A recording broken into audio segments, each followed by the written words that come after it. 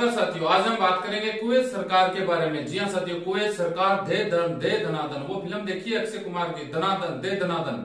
शायद वही पिक्चर का नाम है।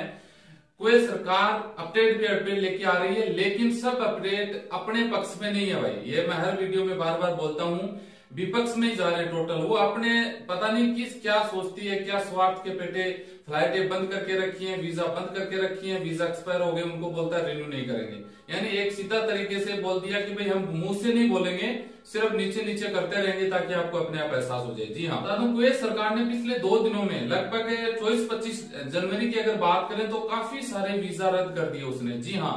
अब वीज़ा रद्द क्यों किए? इसका क्या कारण हो सकता है जिसमें वर्क परमिट वीज़ा है, चौवालीस प्रतिशत वीज़ा तो वो है।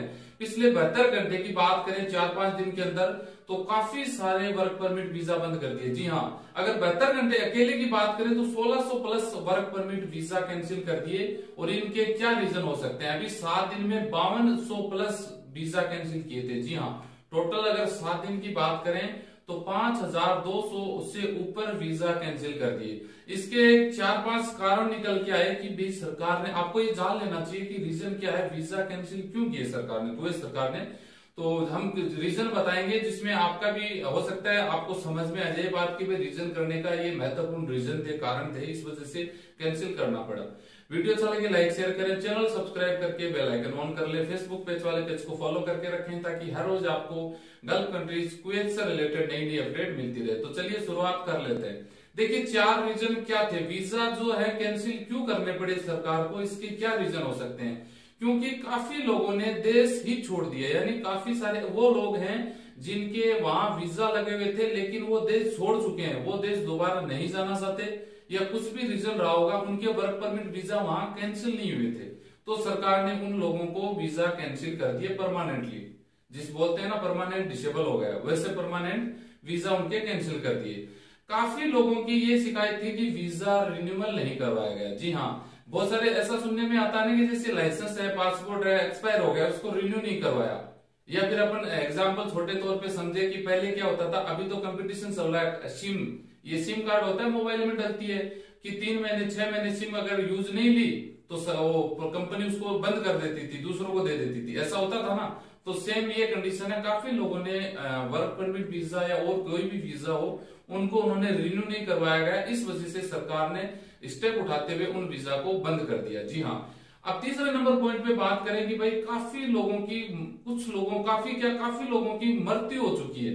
आपको पता है, लाखों की संख्या में लोग रहते हैं तो लोग मरते भी हैं। कोई बीमारी से मरता है, कोई एक्सीडेंट से मरता है, किसी का हार्ट हार्ट अटैक अगर वगर वगर अलग अलग बीमारियों से लोगों की मौत हो जाती है। तो मौत हो जाती है तो भैया उस पर कोई ध्यान इतना जाता ही नहीं है, कम, उसका वीज़ा कैंसिल कौन करवाएगा?